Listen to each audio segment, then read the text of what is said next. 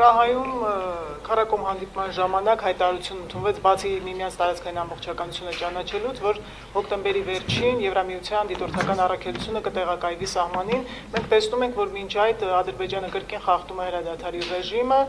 Ինչ է կարծում այդ առաքելությունը կարող է զսպել Ադրբեջանի այդ խախտումները եւ ի վերջո նրանք դուրս գալու են մեր տարածքից թե չէ դա կարող է հանգամանք հանդիսանալ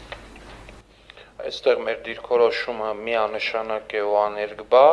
այո, Ադրբեջանը պիտի դուրս գա մեր տարածքներից, որովհետև Հայաստանի Հանրապետության տարածքային ամբողջականությունը սակարկման ենթակա չէ ոչ մի պայմանով։ Այդ առաքելությունը միանշանակ մեր կարծիքով կնպաստի կայունացմանը եւ լրացուցիչ եւս մեկ զսպող գործոն կլինի ադրբեջանական հնարավոր ագրեսիայի համար որպես այդպեսին